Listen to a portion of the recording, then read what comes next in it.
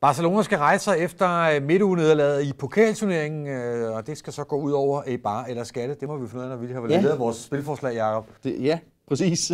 altså, jeg har kigget på et målspil, øh, ligesom jeg havde i, i kampen i pokalkampen mod, øh, mod Levante. Før jul, der var Barca jo i total hopla og væltede kasser ind på samlebånd. Og det må man jo så også sige, hvis man kigger på deres indbyrdes historik, det har de for vane at gøre hjemme på kampen af mod Eibar. De har scoret, nu skal vi lige tage den her, de har mødt hinanden i fire af otte gange, altså fire år har I bare været i, øh, i den bedste række. 28-4 er målscoren, 16-4, når vi tager alene kampene i Barcelona. Ikke desto mindre satser jeg på, at Eibar har indbygget en, en lidt mere stabil form for defensiv. Øh, Deres seneste møde mod Barca, den tabte de trods alt kun 2-0.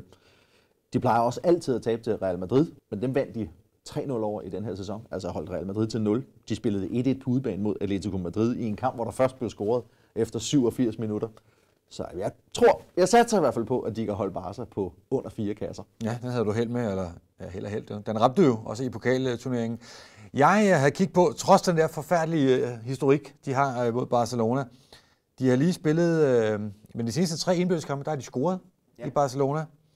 Og så har de spillet et hav af udgjorte kampe i træk nu her. Ja, øh, Eibar. det har de altså en, en fidus. Og når de taber, Og ikke alt for målrige kampe. Nej, ikke for målrig. Og når de taber, så taber de altså ikke stort. Derfor så går jeg altså lidt imod linjen, siger, at Barcelona det kan godt være, at de har scoret mange mål på hjemmebane i år. Men det her, det bliver ikke en af de kampe her. Jeg spiller en lidt anden variant. mig at Lidt, lidt, lidt anden variant end dig. Jeg giver Eibar 2,5 måls forspring. Jeg synes, det er en flot linje. Jeg får næsten dobbelt op på, at de kan tåle at tabe med to mål. Øh, før, Enig. før mit spil det ikke, det ikke går hjem. Så lad os da bare få en 200 sejr til Barcelona.